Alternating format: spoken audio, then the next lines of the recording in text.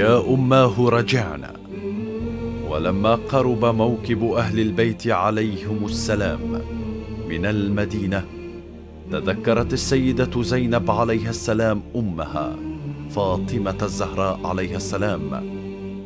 فاستعبرت باكية وهي تقول يا أماه رجعنا وقلوبنا مقروحة وجفوننا من البكاء مجروحة. ورجالنا مقتوله وأموالنا منهوبة.